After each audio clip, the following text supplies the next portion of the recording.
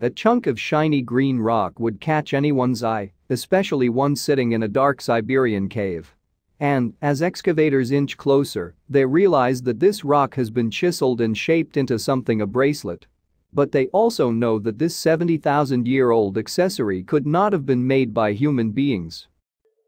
Experts discovered an ancient bracelet in a cave and it could change our understanding of history. The cave in which experts made this stunning find sits in Siberia's Altai area, the least populated of all of Russia's encompassed republics and districts. This lack of residents makes the Altai's natural landscape all the more stunning. Indeed, mountains jut from the ground throughout the region, including the tallest peak in the whole district, Mount Balukha. Tucked within those stunning mountains sits the cave, which has yielded a slew of important paleontological finds for those who trek to explore it. Previously, excavators there unearthed remains of a woolly mammoth. But that's not all they found. Indeed, they've dug up 66 different kinds of mammals and 50 birds. Still, the shimmering green bracelet might be one of the most noteworthy discoveries of all. Experts said it had been made with manufacturing technologies typical of humans, but they also determined that our species hadn't created the jewelry. As it turned out, the cave contained clues as to who or what had crafted the eye-catching piece. It was 2008 when excavators traveled to the Altai region of Russia, once again ready to mine the mountainous cave for its prehistoric secrets. This time, they found a finger bone from an ancient being they called X-Woman. And near to that partial digit, the excavators then found two fragments of a bracelet. The fragments showed that the bracelet originally had a nearly 3-inch diameter, with its stone curvature measuring 1 inch wide but its dimensions weren't nearly as eye-catching as the material it was made from. The original artisans formed the piece using chlorite, a mineral that shifts its appearance throughout the day. Professor Anatoly Derevyanko, formerly of the Institute of Archaeology and Ethnography, Novosibirsk, described the piece to the Siberian Times. The archaeologist, it seems, was very impressed by it. He said, the bracelet is stunning in bright sunlight, it reflects the sun's rays. At night, by the fire, it casts a deep shade of green. Derevyanko the concluded that as such, no one would wear this adornment as a casual accessory. Instead, he revealed, it is unlikely it was used as an everyday jewelry piece. I believe this beautiful and very fragile bracelet was worn only for some exceptional moments. On top of that, it probably belonged to a societally important individual. But the bracelet had more than two notable details. Indeed, its stunning color and fancy styling told only part of the story. Experts then deduced that the material itself, chlorite, must have been valuable to the population who created the jewelry. Why? Because the stone isn't found in the area where the piece was unearthed. As such, those studying the bracelet then inferred that chlorite must have been important to those who made jewelry out of it. And experts know this because of how far the artisan would have had to travel to get their hands on it. Indeed, the material could only be found around 125 miles from the cave in Siberia's Altai region. Which means a whole lot of walking. Over time, of course, the chlorite bracelet showed some wear and tear. But the scratches and bumps seemed to have been smoothed away. And this maintenance provided excavators with another clue. Those who created the bracelet must also have had the tools to perform such a task. To that end, the jewelry may have had additional attached baubles to make it even more stunning. Derevyanko explained how he and other experts came to realize this. He said, next to the hole on the outer surface of the bracelet, there is a limited polished zone resulting from intensive contact with some soft organic material. The archaeologist then went on to theorize that the substance in question was a leather strap. Derevyanko went on to describe how the leather strap likely held a charm, one that was rather heavy he hypothesized. This added weight meant that the hide then rubbed against the chlorite, creating that polished zone. This shinier area allowed experts to figure out that whoever wore the bracelet probably did so on their right arm. Still, the most surprising thing about the bracelet was the skill necessary to craft it. Derevyanko described the drilled hole that appears on the chlorite band. He said, studying the aperture, scientists found out that the speed of rotation of the drill used was rather high, fluctuations were minimal, and that there was applied drilling with an implement. If you think this sounds like a more modern construction method, you'd be right. And that's why this bracelet has caused such a stir in the historical community. Its makers used very advanced methods to create it, but they did so long before humankind adopted such tools. Initially, experts dated the bracelet as being 40,000 years old, but a more recent inquiry has found it to be even older. Maxim Kozlikhin worked in 2017 as a researcher at the Institute of Archaeology and Ethnography, Novosibirsk.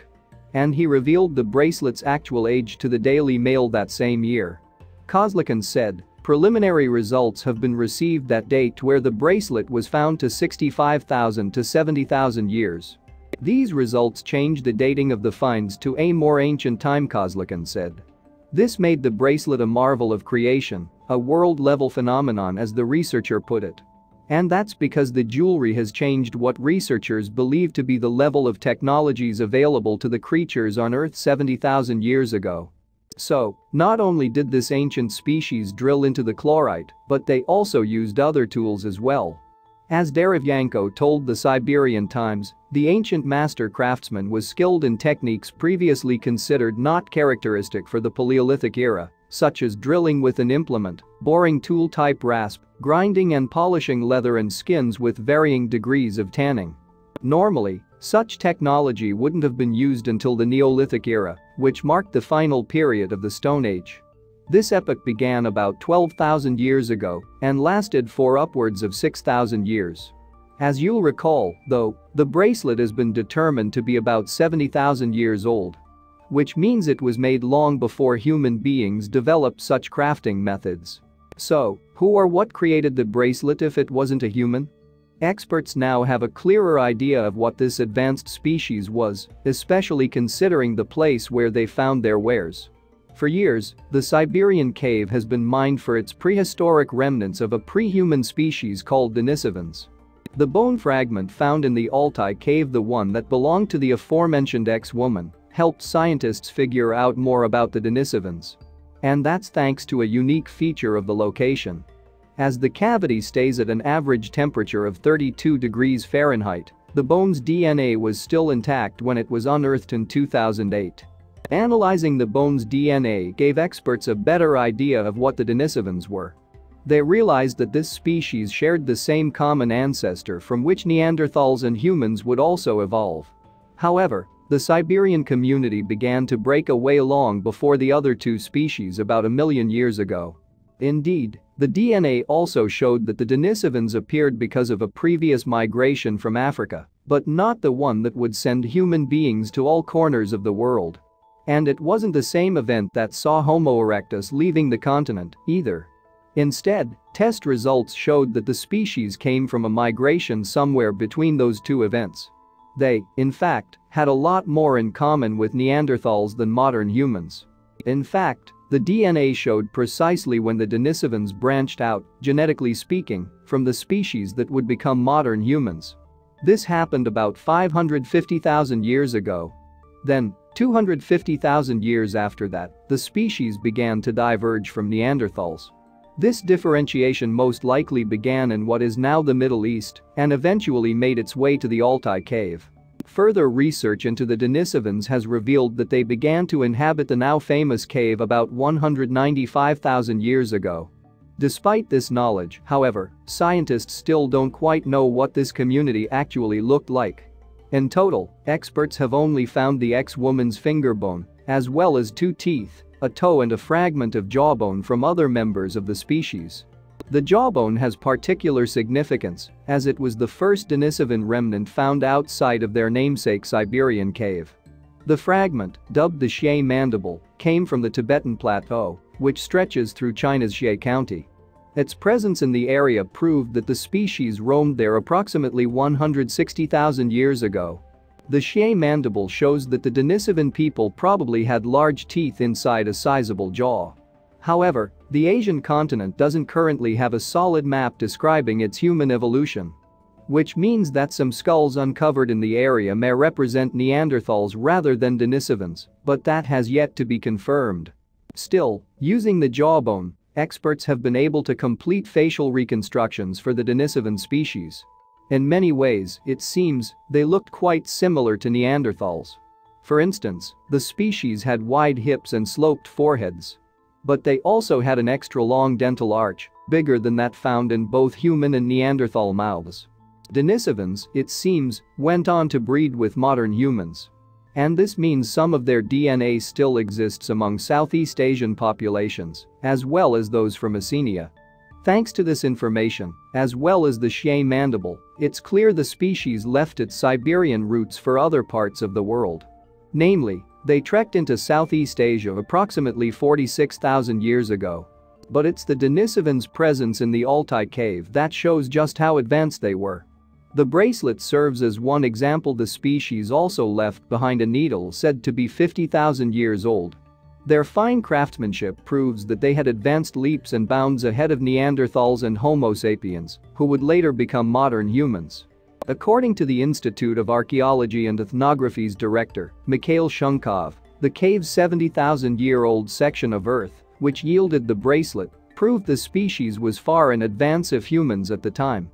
As he explained, in the same layer where we found a Denisovan bone, we found interesting things, until then it was believed these were the hallmarks of the emergence of Homo sapiens. As Shunkov explained, the Denisovans appeared to have made more than just the tools necessary for survival in the wilderness. In fact, they created all sorts of items. First of all, there were symbolic items, such as jewelry including the stone bracelet, as well as a ring, carved out of marble he said.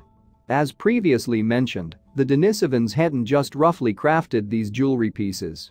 Instead, Shunkov reiterated that they used highly advanced methods and tools for crafting their wares. The chlorite bracelet, therefore, was representative of the ancient people's smarts, none of their contemporaries had managed to achieve anything close. Shunkov went on, the jewelry was made using technological methods boring stone, drilling with an implement, grinding that are traditionally considered typical for a later time. And nowhere in the world were they used so early, in the Paleolithic era. At first, we connected the finds with a progressive form of modern human, and it turned out that this was fundamentally wrong. Instead, Shunkov reiterated, obviously, it was the Denisovans who left these things.